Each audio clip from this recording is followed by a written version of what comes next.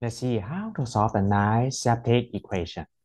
According to rational zero theorem, the possible rational solutions would be x equals plus minus 1, plus minus 1 over 2, plus minus 1 over 4, plus minus 1 over 8, and plus minus 1 over 16. It turns out only x equals negative 1 over 2 is the solution. Actually, we can verify that the left side equals 16 times negative 1 over 2 to the power of 7 plus 7 times minus 1 over 2 to the power of 3 plus 1. So we get negative 16 over 128 minus 7 over 8 plus 1.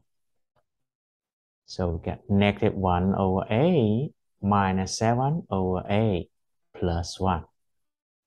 That is actually 0, so it is the right side. So x equals negative 1 over 2 is a solution. But does it have other real solutions? The answer is no.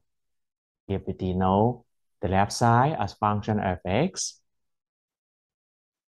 because the derivative of the function equals 7 times 16, 112 x to the power of 6 plus 7 times 3, 21 x squared greater than or equal to 0. So the function of x is an increasing function. We can sketch its graph. If here is negative 1 over 2, then it look, looks like this one. So there's only one solution. If you like this video, please subscribe. Thank you.